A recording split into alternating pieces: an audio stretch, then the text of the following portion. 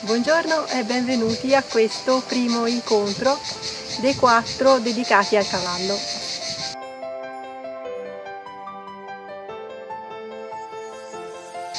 Mi chiamo Federica Giometti e pratico l'equitazione senza fini agonistici, quindi per puro divertimento. Mi è stato chiesto di parlare del cavallo. Eh, sono rimasta entusiasta di questa cosa perché negli anni in cui, questi ultimi anni in cui ho, mi sono dedicata a questa passione, eh, ho scoperto che il cavallo è stato fondamentale nella, nella storia dell'uomo e molti sono gli argomenti che lo riguardano.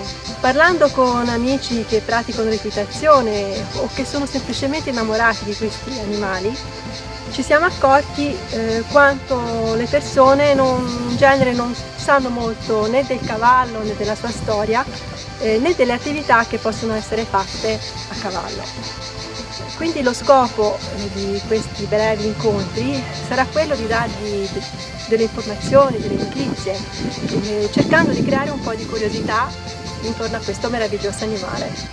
Vi parlo dal casale della Sterpaia che si trova qui a San Rossore. La tenuta di San Rossore è molto cara a noi pisani, non soltanto perché ci veniamo a fare le scampagnate nei giorni di festa, ma anche perché, e questo è un po' eh, di noi cavalieri amazzoni pisani, è possibile accedervi anche a cavallo. Il Parco di San Rossore, come ben sapete, è sede eh, dell'ippodromo, dell'ippodromo che è uno dei più importanti ippodromi italiani, che addirittura vanta tradizioni eh, dalla famiglia di Lorena.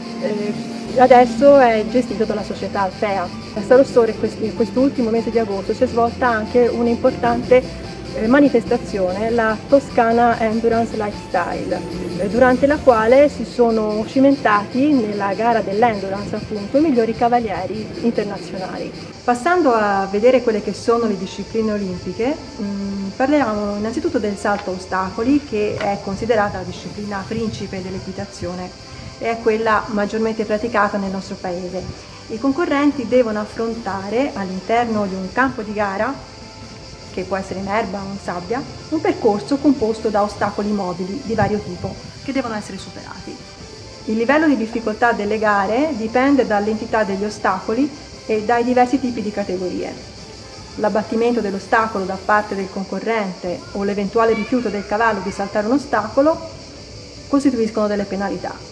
Il cavallo da salto ostacoli deve essere potente e maneggevole, oltre che preciso, veloce e completamente rispondente alle azioni del cavaliere, perché dovrà muoversi spesso anche in spazi ristretti facendo girate repentine.